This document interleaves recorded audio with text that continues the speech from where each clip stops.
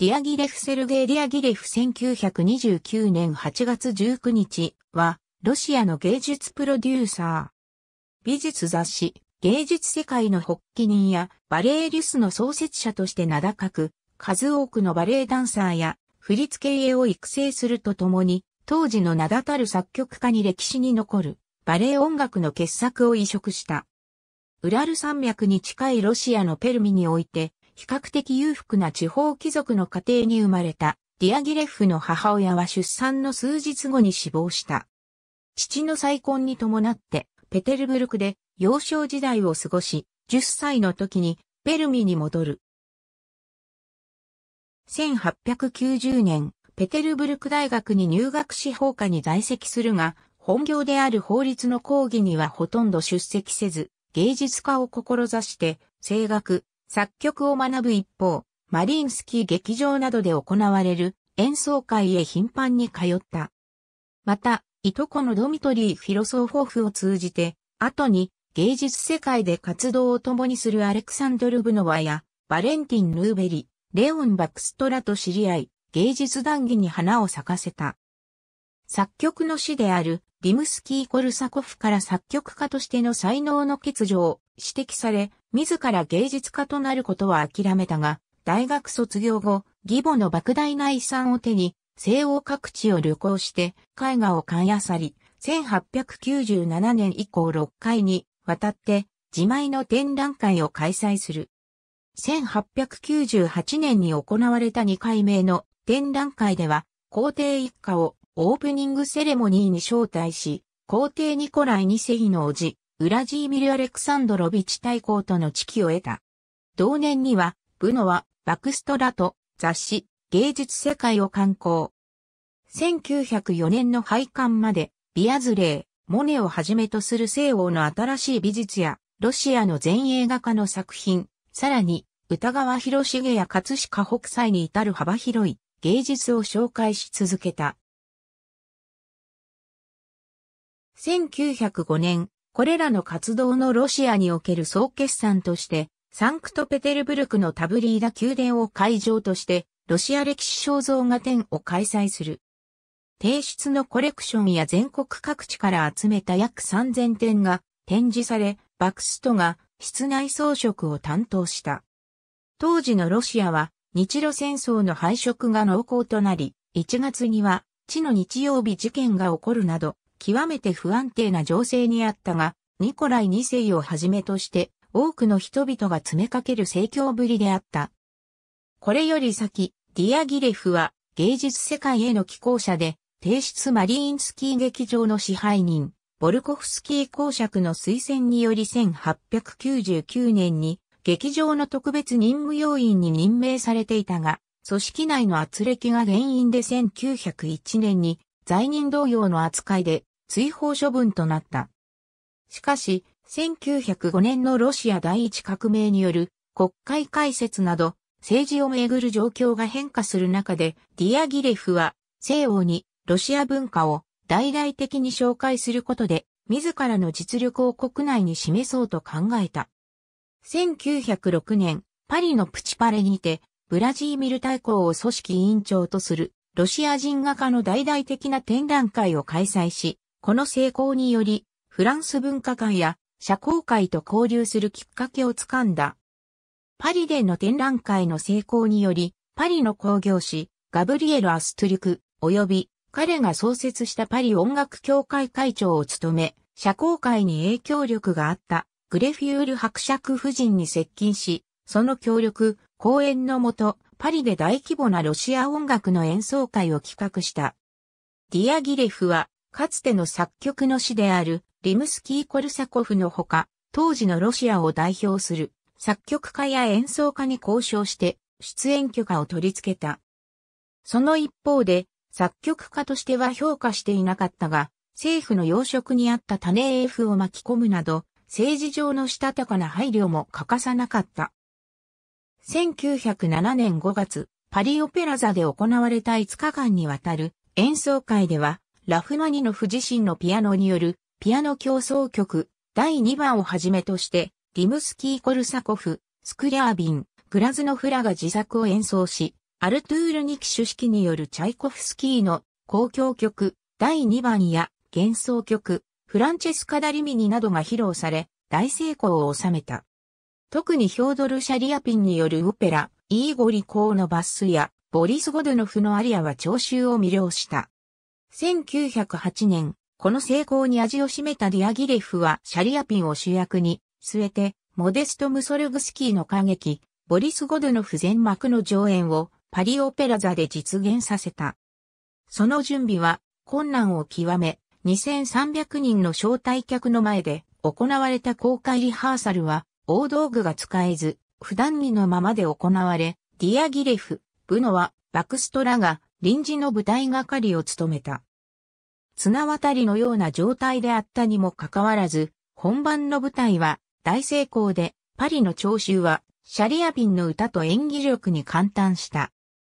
1909年、帝室マリーンスキー劇場の夏季休暇を狙って、劇場専属のバレリーナや大道具、小道具、スタッフを借り、オペラとバレエを中心としたロシア音楽演奏会第3弾を企画するが、間際になって最大の講演者、ブラジーミル大公が死去、ディアギレフをよく思わない人々の残言によって、ロシア帝室からの資金援助、帝室劇場の道具貸し出し、ロシアでのリハーサル会場の使用許可すべて取り消された。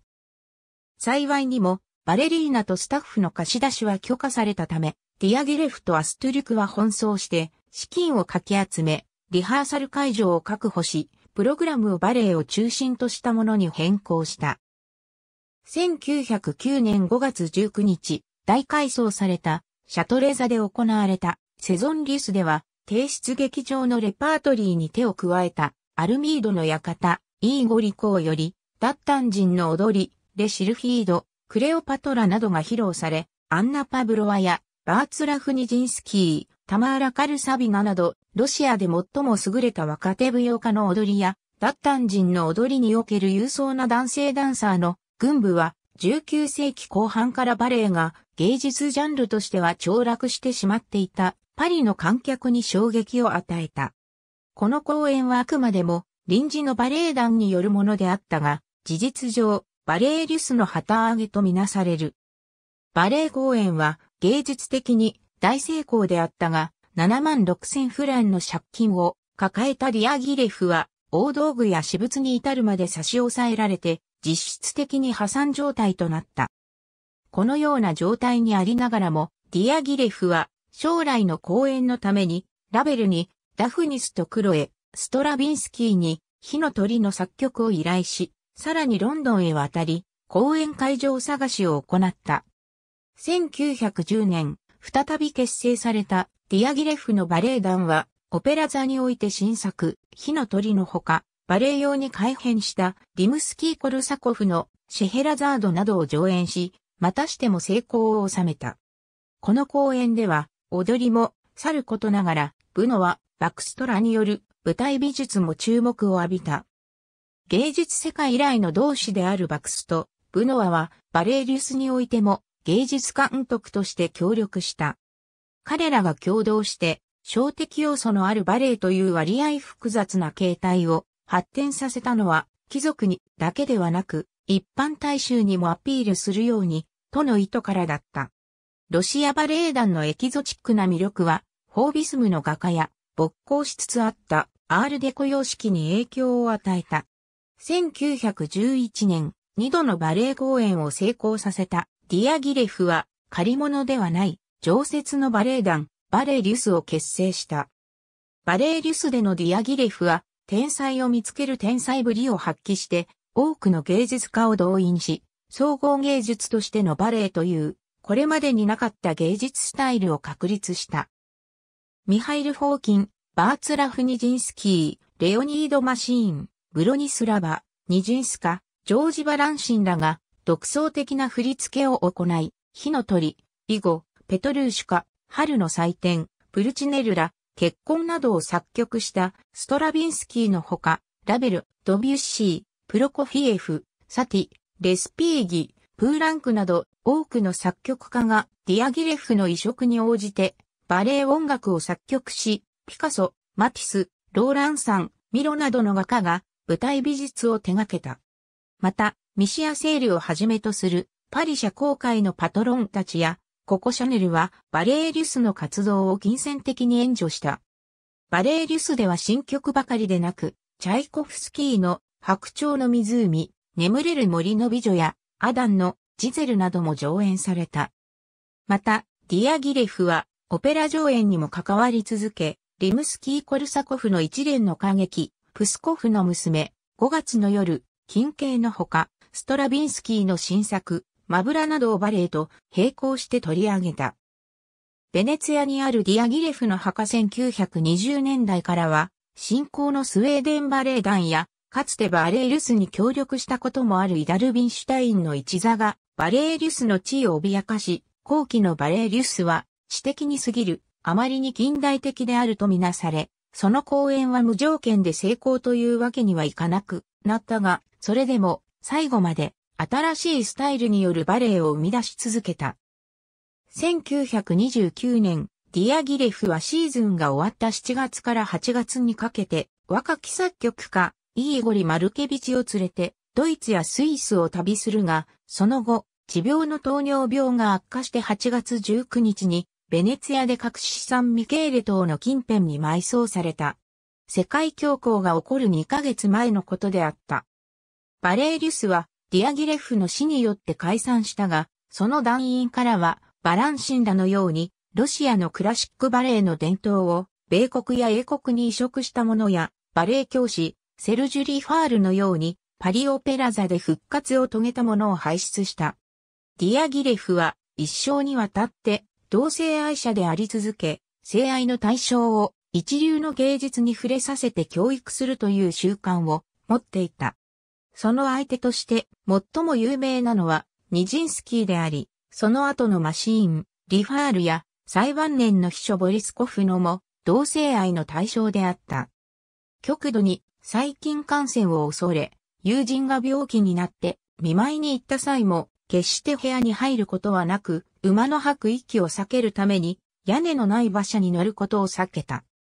また、迷信家でもあり、過去にパリの占い師から水辺で死ねと予言されたために船旅を恐れたが、結果的には水のとベネツィアで死ぬこととなった。ありがとうございます。